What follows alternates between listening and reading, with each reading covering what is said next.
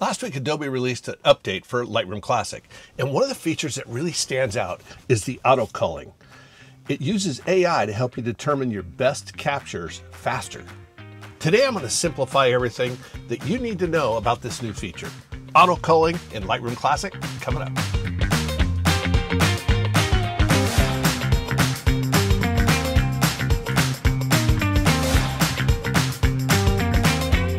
Hi, I'm Terry Van professional photographer, and today we're going to work with one of the new features inside Lightroom Classic version 15, auto culling.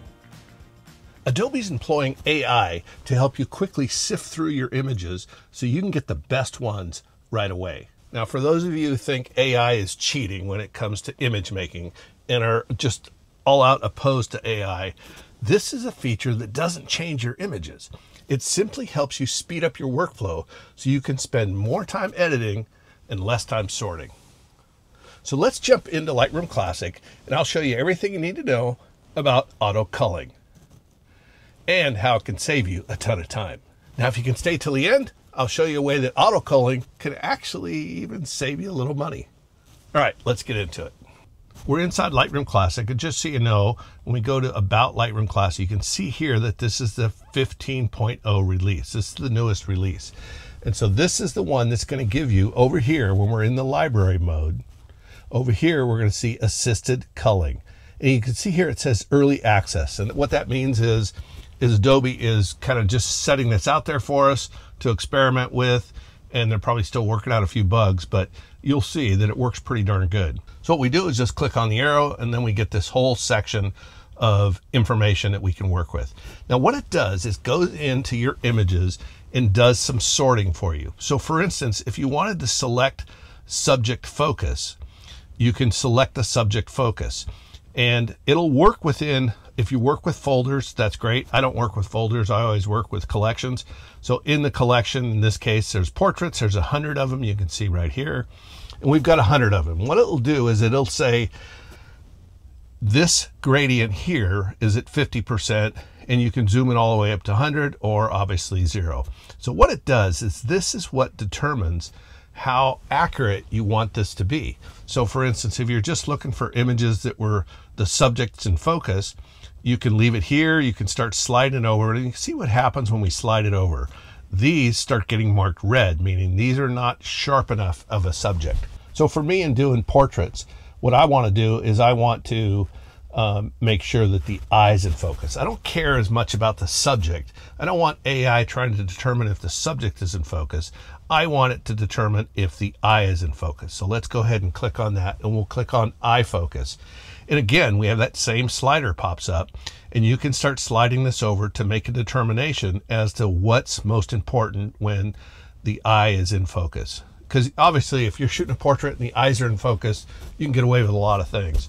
But um, if the eyes are not in focus, no matter what else, it's not going to work. So you really need your eyes in focus. Now, you can reject this here, reject photos without people's eyes, meaning obviously if they look away or something like that, or if their eyes are open, reject the photos without people's eyes or reject the can't tell images. So you can you can start varying these little check marks as to what you want.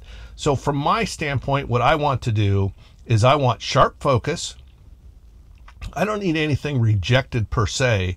I think what I'm going to do is just run it just as it is. And if there's eyes that are closed, it's not going to see them in focus, so it's not going to check them. So like this one here, her eyes are not open, so it gives it a red mark. And you can see what it does. It gives it red marks as it goes, right? So those are ones that don't fit the criteria of what I'm looking for. And as we scroll down through here, we can see all the images here. Some are check marks. So those would be eliminated from my basic group. And if you want to see numbers, what you can do is you can look down here and you can see out of those 100, 82 are selects and 18 are rejects. So as we move this sharpening tool back this way, we can see that it'll select all 100. And that obviously doesn't do as much good, right? But we can slide this over all the way to 100% and it's only going to show us 51 selects. 51 that are ultimately sharp eyes because that's what we're looking for eye focus in this particular case. Now, you can also reject, if you're just loading lots of images, you can reject things like documents or misfires or exposure issues. Like if something is overexposed or underexposed, it'll eliminate it. Now, when you're shooting raw, a lot of times there's some push and pull that you can do. So maybe that's not something that you want to have clicked because it might eliminate some images that you would normally be able to work with. But in this case, we'll just leave it alone. And as we click this, we can see we have exposure. We don't have any exposure issues. Otherwise, this number right down here would change. So, and we don't have any misfires because when we click that, we can see that nothing changes as well. So now we've gone from 100 images to 51 images. And this is pretty good, right? So this is this does a pretty good job and we know that this is 100% in focus. But check this out. What I want to show you is how good this software is. So let's go in here. We can see here our eyes are slightly closed, looking away. Right here, they're sharp. Let's take a look at these two. All of these don't meet the criteria, meaning that the eyes are not sharp enough. So let's go down. We can see a lot of these here have been eliminated. We come down here, and these are two that are shot right after one another, both with their eyes open. Let's take a look. And we'll go into hit C so we can really compare these. Let's sync those, and that way we're looking at the same thing. Now you can see, here's what we did. This first one here was eliminated because it saw that this eye really wasn't that sharp. But here, it's sharp. So as we pull back, we can see that was a really good move. So I think uh, Lightroom Classic did a fantastic job eliminating that. So we didn't have to go in and look really close on each one. We know that this set here is all going to be sharp eyes. And that is a great way to go when you're when you're culling your images. Start with sharp eyes. You can get the poses later, but for right now, we're just making sure that all the images are sharp. Because anything that doesn't have a sharp eye, my customer is never ever going to see. I'm going to pull that out because almost all the time, if you show them one that has a uh, an eye that's out of focus, they're going to say, "Oh, I really like that pose," and then you got to go in and Photoshop and build in an eye, and it's it's a real pain. So I try to eliminate those from the vision. And as you look at these, we've got tons of images to choose from. So now that we've done this and we've got our selections that are our favorites, what we can do is we can just view selects, for instance. Now then, all of these are green checked. Now you can go in and do what you want to do. Like for instance, you could do. Um, Command A, and that's going to select all of them, or Control A if you're on a PC. That's going to select all of them, and then you're going to say add a letter P will be the flag. So now that we've got all of these flagged, we can take, come over here and create a collection of all of these images. That's one way to do it. Another way, let's undo that. Another way to do that is to let Lightroom do a little bit of work. So when we come over here, we have organize results. So we can do some batch actions. So let's just check this out. We come in here, we could apply a flag by doing this, right? That would be that same action of selecting all and applying a flag. Or we could apply a rating if you use ratings or color labels. Or look at this, add to a collection. So let's do this and let's create a collection.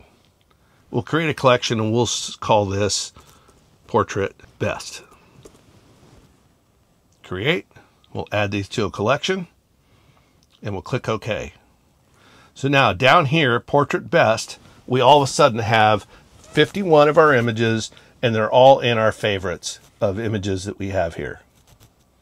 So we have we have got all those with sharp eyes. So as we look at these images, we can kind of kind of scroll through these. Look at that. Her eyes are closed. But we didn't have that checked over here. So let's go back in here and go reject unless eyes are open or can't tell. And look what it did. Lightroom put that little red X on this one here, so that's rejected. Now you could simply just hit the X and that will put a black flag on it. You'll see how it's grayed out. So this gives us all of the images. Now we're down to, I believe, 50 even. Let's check. And there we go. We've got our 50 even that we like.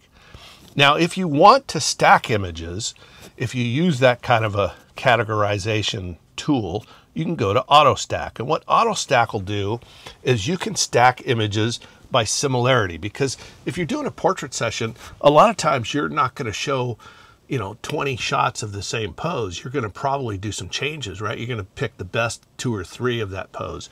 So what we can do is stack by visual similarity. And let's click that. Now, right now it put all of them into this same stack, but you've got this slider here. And this slider here, as we move it over to more similar, then we can really define how that looks, right? If we slide it all the way out, then there's no stacks. This is six different stacks and five stacks. You can see this all written right here. See that right there? Four stacks, five stacks. Let's go with six stacks and we'll hit stacks. What Lightroom does is it puts all the images that are similar together. So we can see here there's three. So if we click on that, there's the three that are all similar, right? And if we come in here, these are all her against that tree that are all black, right? And then these are some examples of her standing up. So that's a full length shot. You can see those are that. So this is a pretty great way of organizing your images. So then if you want to go in and say, okay, I want to go to the, the shots against the trees, and those are the ones that we want to, we'll just select, we'll hold the, the uh, shift key down and select those four, and we'll hit the letter N and that gives us these here that we're going to show the customer. And we can decide, okay, which one do we not want? Well, maybe this one we'll take out. So we'll hit an X on that or delete it, whichever you prefer. And now you've got those images there are the only three they're going to see of her standing on the tree. So standing next to the tree. Here again, these are 15 shots here, right? This is how you would kind of go through and you would pick these and say, okay, which of these do we want to show, right? There's going to be some where the expressions aren't going to be great. So let's go ahead and take a look at that. Hit the letter N. So like that expression's not good, so we can hit an X on that. That expression's kind of goofy. We'll hit an X on that.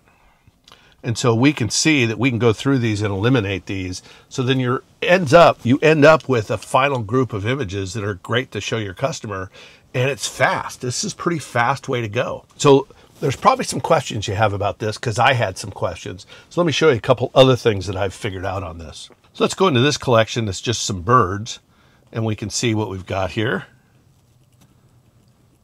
And let's see what it can do with this.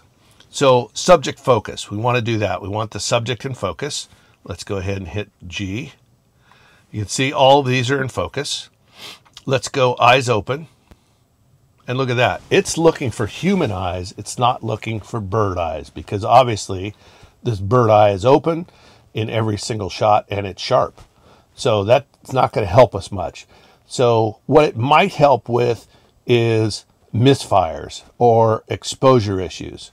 So let's try this again with a different set. So this auto culling doesn't work with birds at all. So let's go ahead and try mammals. Come in here and we'll say subject focus. That's pretty important. And you could see, I don't know if you saw that up there, but it had a little thermometer goes across that goes through and tests all these. So here's one that's out of focus. It gave it X to it. Let's go ahead and trim that up a little bit. Okay, so now we really want the images that are in focus. And we can see even in animals, it will take those and, and eliminate the ones that are out of focus. So let's take a look and see how Lightroom did. The, the left one here should be in focus and the right one not so.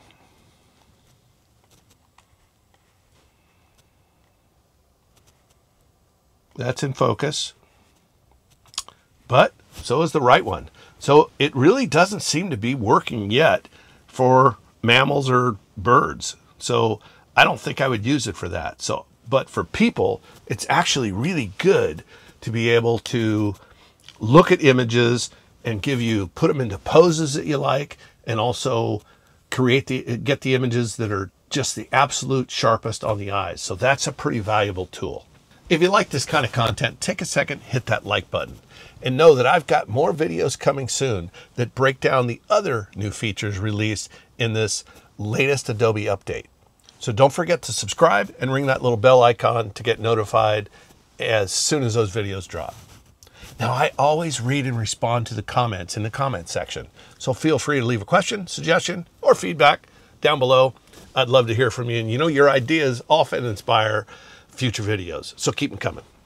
So, so far we've learned that auto culling works great with portraits of humans, but not so good with animals and birds yet. But that might change. I'm assuming that that Adobe is going to probably encompass all the images that we shoot and try to figure out how we can use AI to help us filter through the good shots and the bad shots.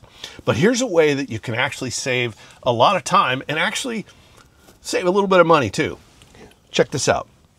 The way this is going to help you is upon import. So check this out. Import, and we're going to go to images, and we're going to go to these unloaded portraits that we haven't loaded up yet. And what we can do is we can go on to assisted culling, turn that on, and again, we've got this same information over here, just like we had. So let's go into eye focus, and let's make sure we got 100% of our eye focus. And we're going to reject any misfires or exposure issues. And out of these images, we've got two that are rejected. Well, it's good. It's thinking, right? You can see this number growing here. It's going through. Let's see how many it's done. All right, it's picked. It's picked two rejects so far. So now let's check this out. Let's go to subject focus. Make sure that's sharp. And we'll we'll we can slide this slider back a little bit. We can see we've got 36 selects and 23 rejects, right? We want to do eyes open, reject eyes without people's eyes, reject can't tell images, make sure those are all checked. And we can auto stack those right from here, but I don't think we really need to. But what is really slick is we can take all of these images and we're only going to upload into our catalog the images that meet our standards. So that means that you're going to be saving hard drive space. When you've got thousands of images to upload and you only take the top 100 out of a thousand images, then you're saving a lot of disk space by just bringing in the images that you want to keep and you know that the customer is going to like. So one of the things I want you to think about though is I want you to work with this auto culling inside of Lightroom Classic like, like I showed you in the first part. So you get used to what it does. You used to what your parameters are. Do you want to have your parameters set at 100% for sharp focus or subject focus? You can make those decisions. And once you get into a system that you know exactly how that is, you can create the same thing over and over again and only bring in the images that you want, thereby saving lots of hard drive space over, over time. And once you bring these in, you can also stack them with visual similarity if you prefer to do that. You can figure out the, you know, different poses, and that's a pretty simple way to go. You can also just come over here and add them to a collection. And let's just put them into, we'll make a new collection.